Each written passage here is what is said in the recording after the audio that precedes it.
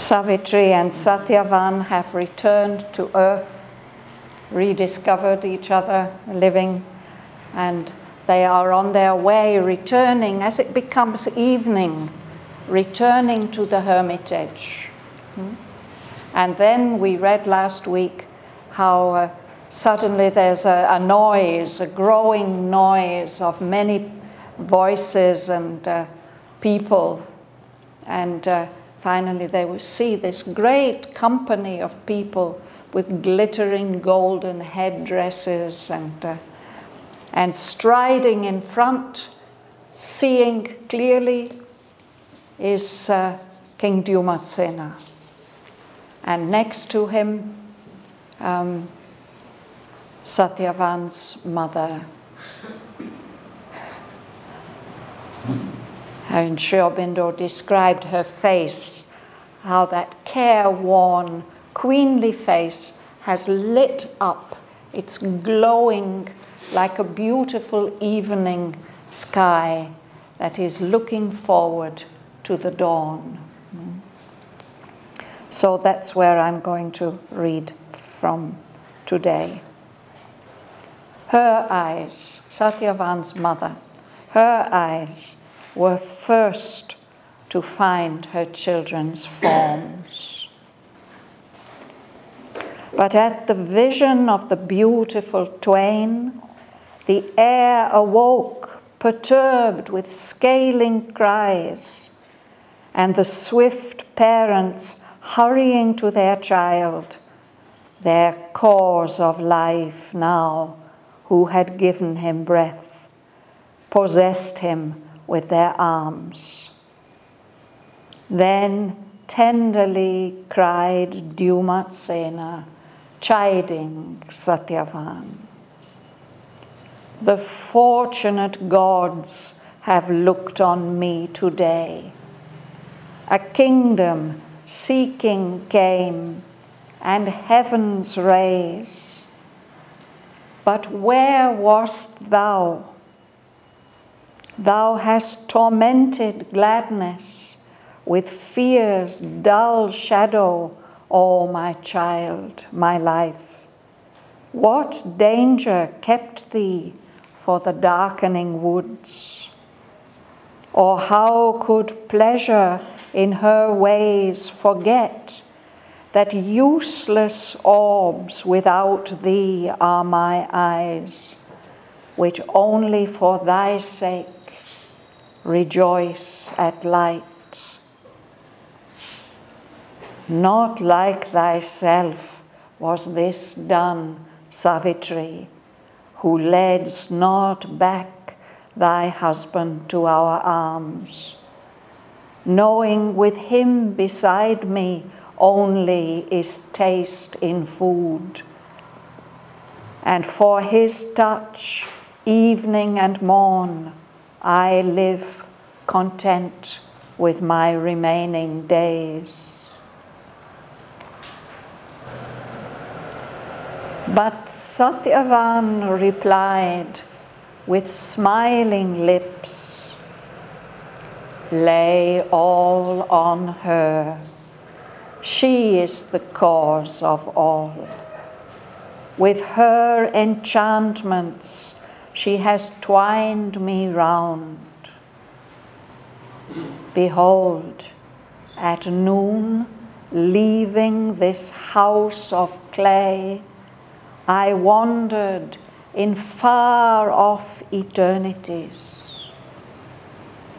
Yet still, a captive in her golden hands, I tread your little hillock called green earth. And in the moments of your transient sun, live glad among the busy works of men. Then all eyes turned their wondering looks, where stood a deepening redder gold upon her cheeks, with lowered lids, the noble, lovely child. and one consenting thought moved every breast. What gleaming marvel of the earth or skies stands silently by human Satyavan to mark a brilliance in the dusk of eve.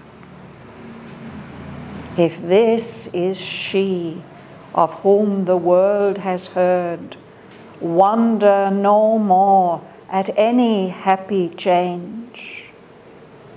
Each easy miracle of felicity of her transmuting heart, the alchemy is. Then one spoke there who seemed a priest and sage. O woman soul, what light, what power revealed, working the rapid marvels of this day, opens for us by thee a happier age. her lashes fluttering upwards, gathered in to a vision which had scanned immortal things, rejoicing, human forms for their delight. They claimed for their deep, childlike motherhood the life of all these souls to be her life. Then, falling, veiled the light. Lo, she replied, awakened to the meaning of my heart, that to feel love and oneness is to live. And this, the magic of our golden change, is all the truth I know or seek, O sage. Wondering at her and her two luminous words, westward they turned in the fast gathering night.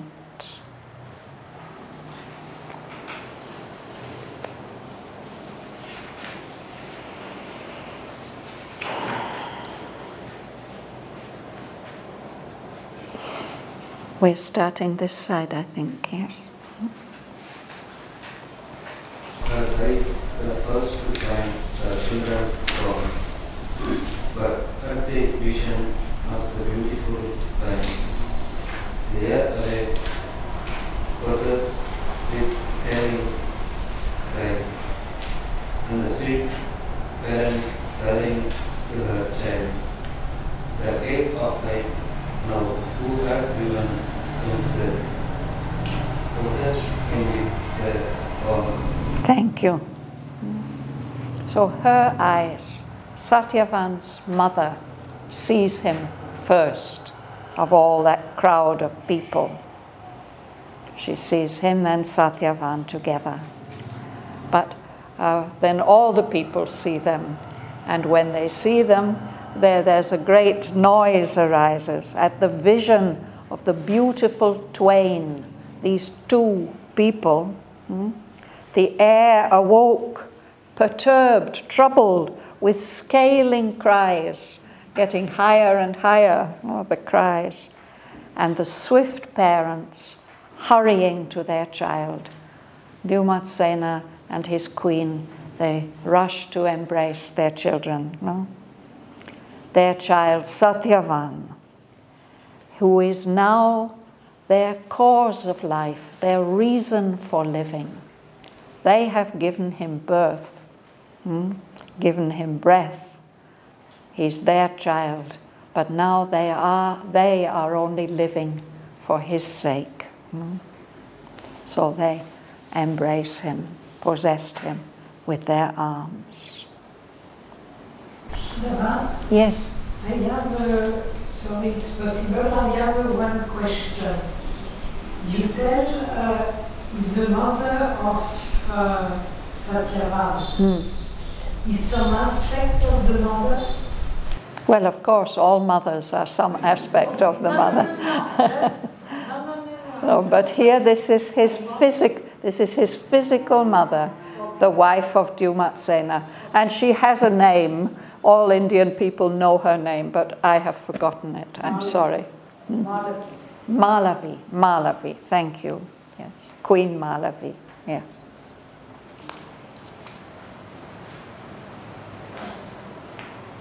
So- I know everybody's aspect of the mother, but now I want to Hmm. exactly.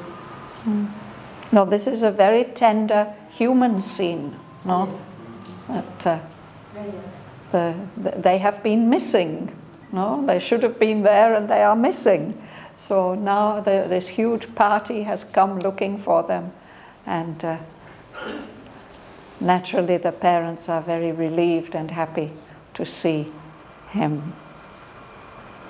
And then uh, Dyumatsena, the king, scolds him a bit, but tenderly, as a father, as a loving father may scold his child. Babel. hmm? Then tenderly cried Dyumatsena, chiding Satyavan, The fortunate gods have looked on me today, the kingdom seeking came and heaven's grace. But where was thou? Thou hast tormented gladness as fast With fear, with- the fierce dark shadow. O my child, my life. Mm, thank you. So tenderly, Dyumatsena chiding, scolding Satyavan. And he says, Wonderful things have happened today. The fortunate gods have looked on me today with their blessing. A kingdom seeking came.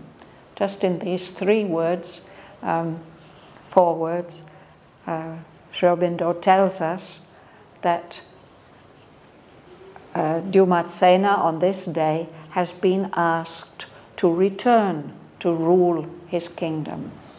Messengers have come looking for him to offer him the kingdom, kingdom back. And heaven's rays, he can see again. He was blind, now he can see. So these two miracles have happened on this day. But where were you? No? You- You have tormented gladness with fear's dull shadow. Of course, he was so glad that the kingdom is restored and that his sight is restored. But where is Satyavan? What has gone wrong? Why is he not there? No. The dull shadow of fear has spoiled that, some of that gladness. no? Because you're my child, you're my life. Alice. Alice, would you? What danger kept thee for the darkening woods? Or how could pleasure in her ways forget that useless orbs without thee are my eyes, which only for thy sake rejoice at light? Hmm. So, what has kept you? It's getting dark now. And uh, where have you been? What, why, what has delayed your return? Or were you just enjoying yourself so much that you forgot that my eyes are just useless without you? Of course, when he was blind, um, that was true. But even when his sight has come back, he feels that if Satyavan is not there, uh, what use are these eyes? No? I want him to know that uh, our Satyavan was to know that he regained his uh, eyesight and regained his kingdom. So, How was Satyavan to know? yeah, of course he should know, but I don't understand why is he asking this why he's asking him. Well, of course, formerly it was that Satyavan was always helping his father, so the orbs were useless. Now he's telling him that, look, I've got my sight back, but what use is it to me if you were not there? No? So that gladness has been tormented by, by anxiety, by fear, because you were missing. No? And now I'm only enjoying my eyesight for your sake because you are there for me to see.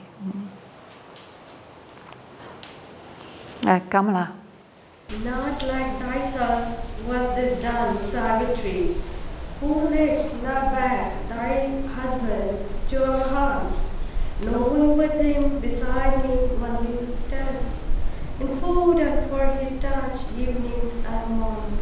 I live content with my remaining days. Hmm. So then Dyumatsena scolds Savitri a little bit. No? He says, This is not like you, Savitri. No? And that you didn't bring your husband home so that we were so anxious because you know very, very well that I can't eat unless he is with me. And uh, I'm living to feel his touch in the evening and the morning. That's the only thing that keeps me alive, that lives, makes me content with my remaining days.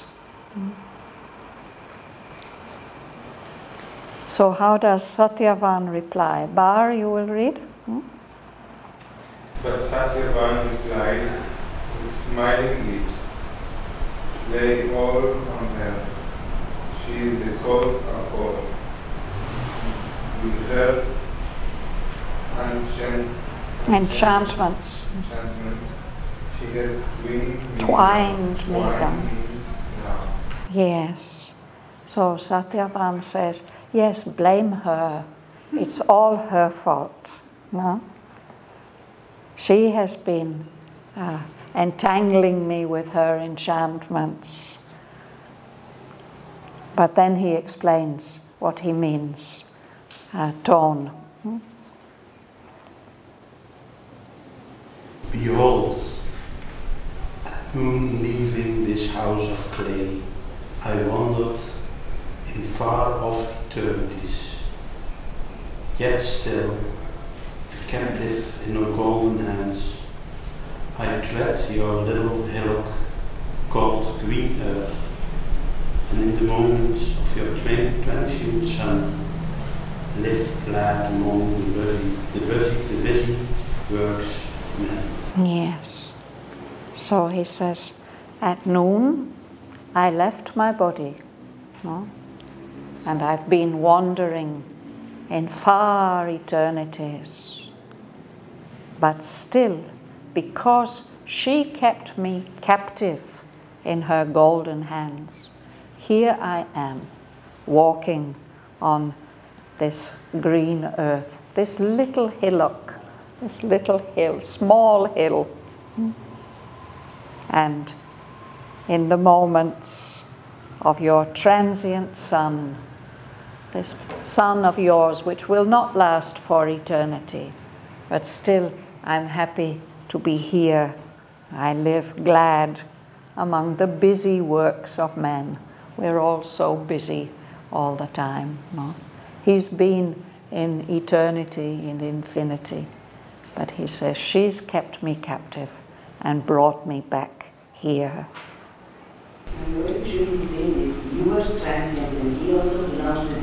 And. Yes, but you, you with you people, no? He, he's been in another world altogether. Would you like to read, Ma?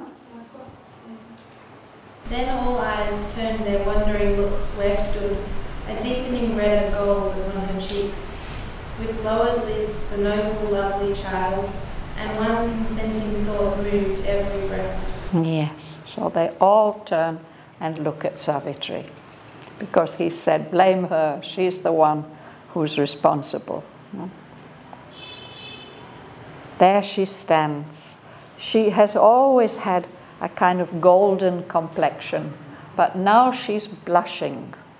There's a deeper, redder gold upon her cheeks, and she's lowered her eyelids. She's looking down very shy, shyly.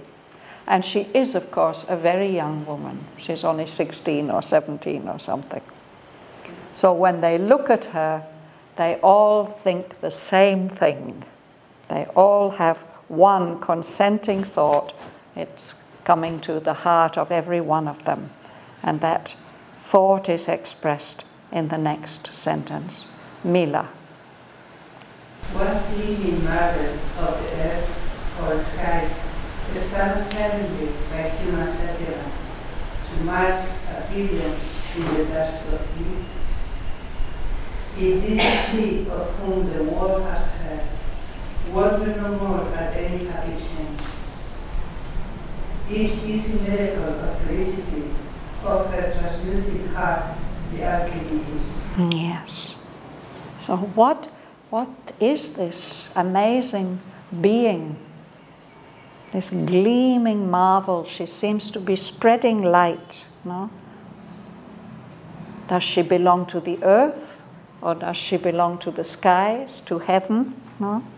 There she is, standing silently by Satyavan, who's very evidently human, and she's marking a brilliance. There's a light around her in this uh, evening dusk, in this twilight.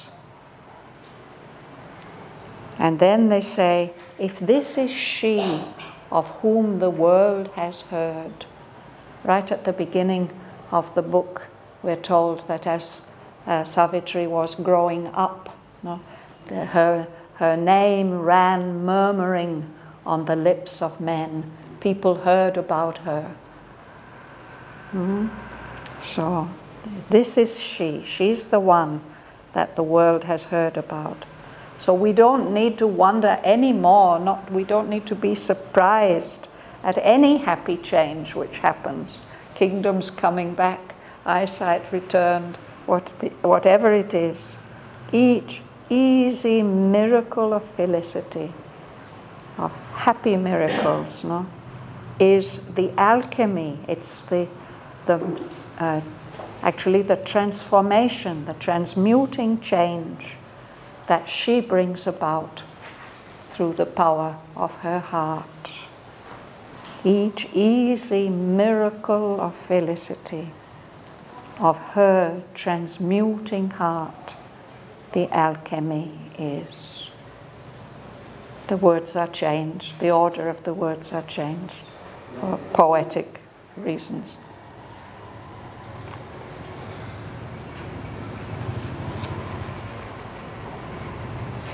You'll read, sir? Then one spoke there who seemed a priest and sage. O woman soul, what light, what power revealed, working the rapid marvels of this day, opens for us by thee a happier age. So he asks her, What is her power? What is the source of her power? your woman soul. What is the light? What is the power that you've revealed that could bring about the rapid marvels of this day, all these miracles, the return of the eyesight, the return of the kingdom, Satyavan's return to life? It seems as if you have the power to open up for us human beings a whole new age of happiness. What is that power? He asks her. Shamala. And lashes fluttering upwards gathered in a vision which has scanned immortal things, rejoicing. Human forms are their delight. Hmm. So she had lowered her eyelids, no? Now she looks up and she looks at all these forms around her, these, uh, these human forms, and she rejoices to see them all. She feels delight at seeing them all. with this vision of hers, which had seen, scanned immortal things, the same power of vision which she has seen all these amazing things in the subtle worlds. Lela. They claimed for their deep childlike motherhood the life of all these souls to be your life, then falling veiled delight. Yes. So her eyes claimed the life of all these souls to be her life. She identifies with all of them. No? And Sri Aurobindo says she does that as a mother, but this is a deep, childlike motherhood. She's still a very young woman and she keeps that quality, that youthful quality, even in this accepting all these souls as her children, as her own. And then she lowers her eyelids again. And then she replies, Varadarajan.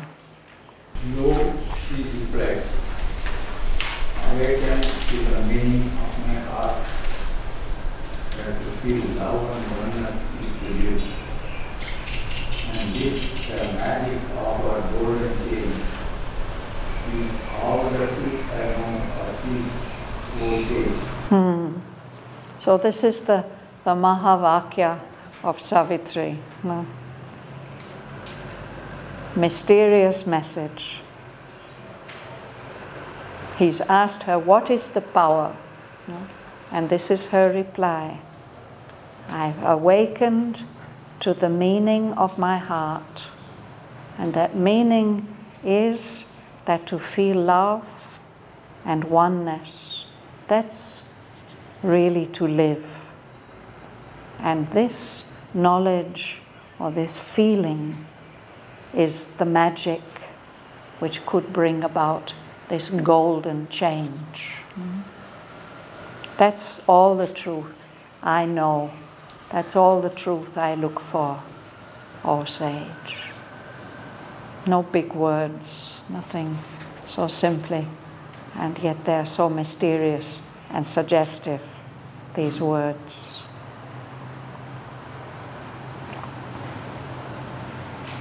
Jerry. At her at her two luminous roads, westwards returns in the fast gathering night. Mm. So that whole crowd of people, they, they don't understand what she has said. They are wondering at her, at Savitri, and at these words which are so full of light that they are difficult to understand. So the whole company turns westward.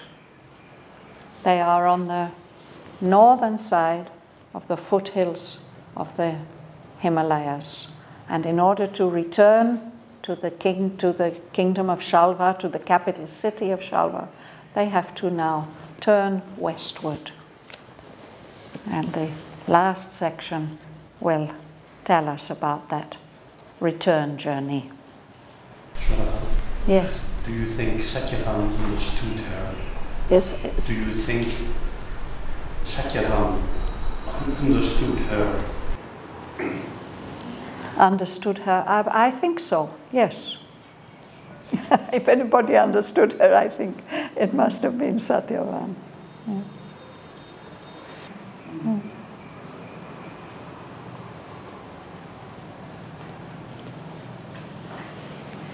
So, Joel. From the entangling verges, freed they came into dimness of the sleeping earth, and traveled through her faint and slumbering plains. Yes. So the verges, the verges of the forest, they, they uh, leave those behind. They are freed. They come into a dimness. It's becoming night. No? The sleeping earth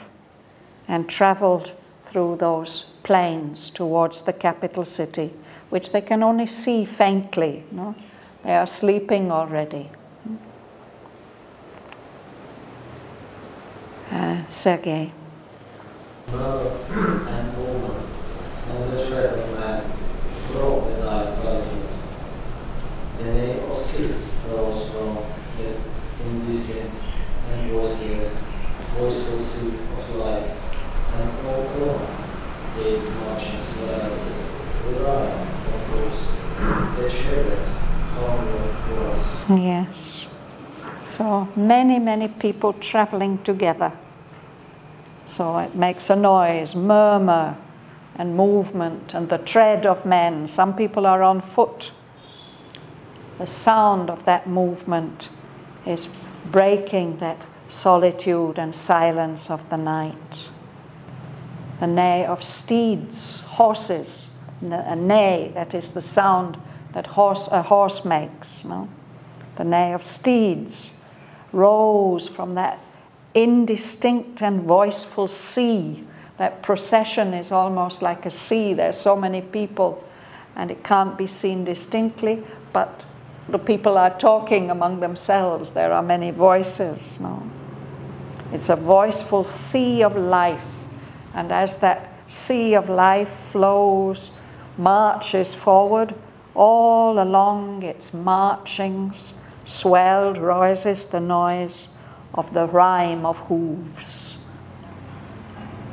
and the sound of the chariots. They make a noise, the wheels of the chariots, as they move along. And those chariots are hurrying homeward towards home. What is the hooves? Hooves, the, the feet of the horses. They make a special sound, no? The sound of horses when they move.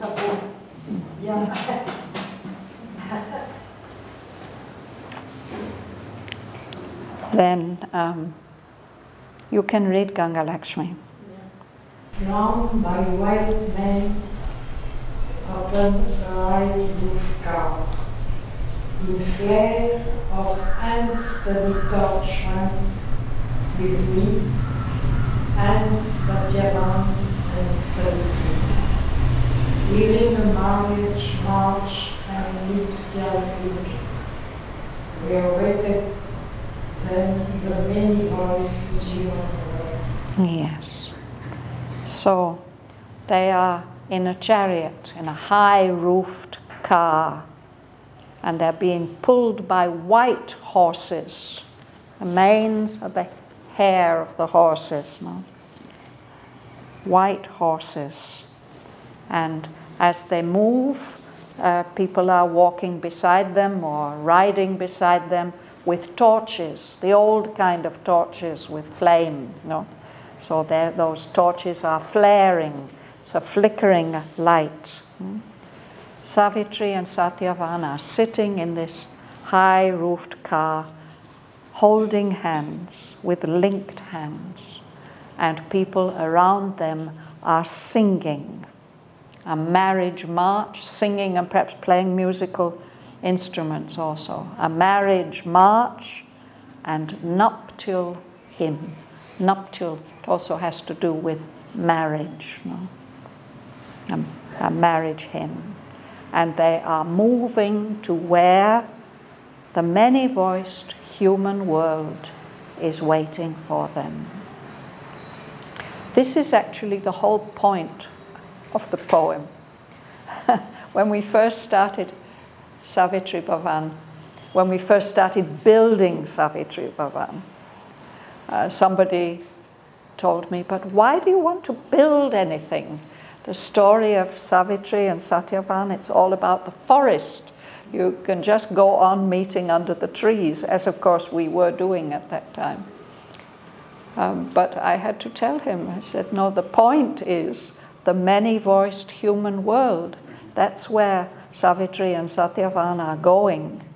Uh, the, their story has happened in the forest, but it's for the benefit of the whole busy lives of men.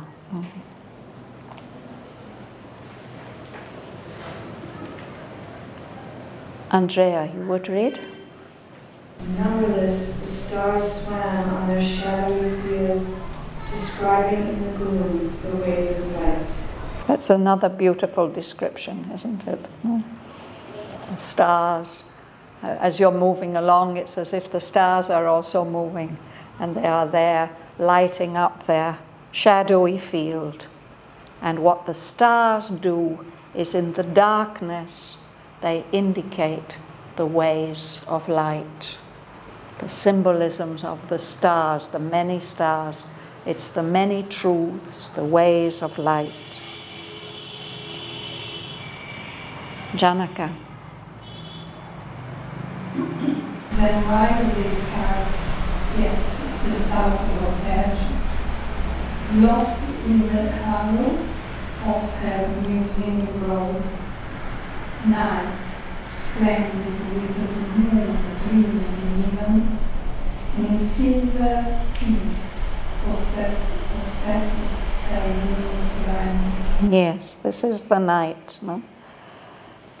This poem started with a very, very, very dark night.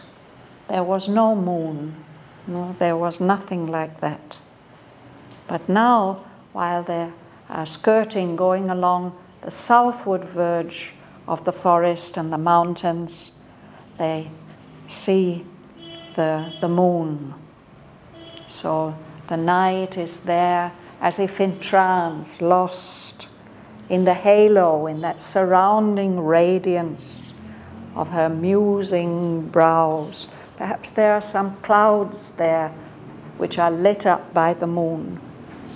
This night, splendid with the moon, dreaming in heaven, in silver peace, possessed her luminous reign. She will reign now through some hours until the next dawn comes. Subbu. She wandered through her stillness top, deep water where her musty fold of life, and in her bosom rose a greater dawn. This is she is night. Night is brooding. When somebody or something is brooding, it means that something is going to come out, something is going to hatch or be born, going to be expressed. Know, it's the image of the mother bird sitting on her eggs. So the night is brooding. Hmm? In her, the stillness of the night, she's brooding on a thought, a thought that's guarded deeply within her by her mystic folds of light, as if the darkness is just a, a dense form of light. In her bosom, she is nursing a greater dawn. The poem started before the dawn on this day. Now the night is going to bring a greater dawn, a dawn that will be greater because of all that has happened during this one day from the beginning of the poem to the end.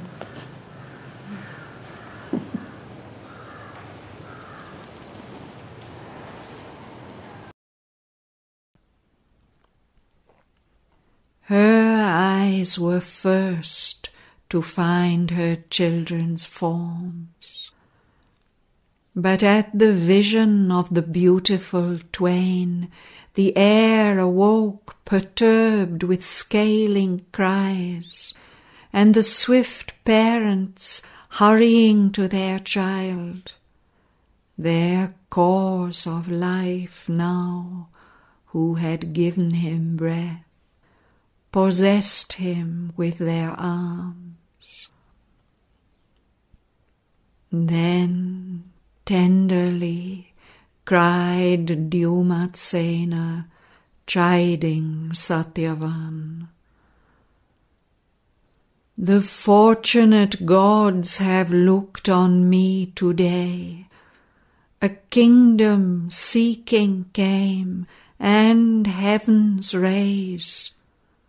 But where wast thou Thou hast tormented gladness with fear's dull shadow. O my child, my life, what danger kept thee for the darkening woods? Or how could pleasure in her ways forget that useless orbs without thee are my eyes, which only for thy sake rejoice at light? Not like thyself was this done, Savitri, who ledst not back thy husband to our arms, knowing with him beside me only is taste in food, and for his touch, evening and morn, I live content with my remaining days. But Satyavan replied with smiling lips, Lay all on her, she is the cause of all. With her enchantments she has twined me round. Behold, at noon, leaving this house of clay, I wandered in far off eternities. Yet still a captive in her golden hands, I tread your little hillock called green earth, and in the moments of your transient sun, live glad among the busy works of men. Then all eyes turned their wondering looks where stood a deepening redder gold upon her cheeks, with lowered lids the noble, lovely child. And one consenting thought moved every breast.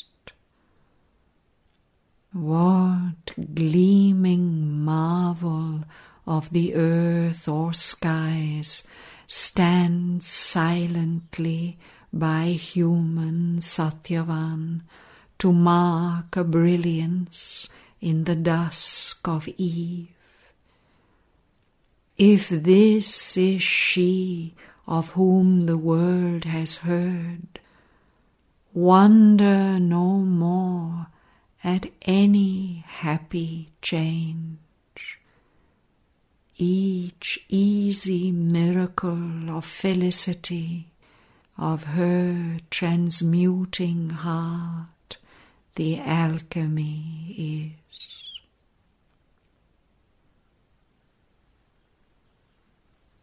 Then one spoke there who seemed a priest and sage. O woman soul, what light, what power revealed, working the rapid marvels of this day, opens for us by thee a happier age.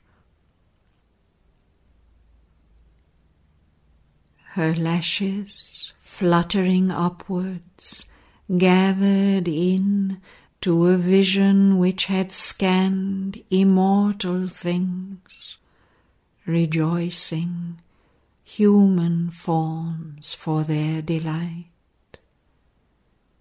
They claimed for their deep childlike motherhood the life of all these souls to be her life. Then falling veiled the light. Lo, she replied. Awakened to the meaning of my heart, that to feel love and oneness is to live. And this the magic of our golden change is all the truth I know or seek, O sage. Wondering at her and her two luminous words, westward they turned in the fast gathering night. From the entangling verges freed they came into a dimness of the sleeping earth, and travelled through her faint and slumbering plains.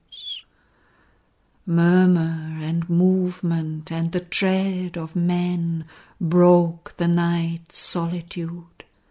The neigh of steeds rose from that indistinct and voiceful sea of life, and all along its marching swelled the rhyme of hoofs, the chariot's homeward voice. Drawn by white manes upon a high-roofed car, in flare of the unsteady torches went, with linked hands, Satyavan and Savitri, hearing a marriage march and nuptial hymn, where waited them the many-voiced human world.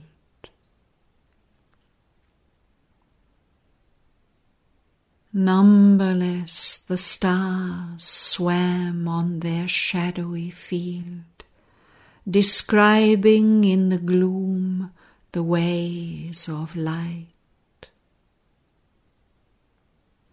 Then, while they skirted yet the southward verge, lost in the halo of her musing brows, night splendid with the moon dreaming in heaven, in silver peace possessed her luminous reign.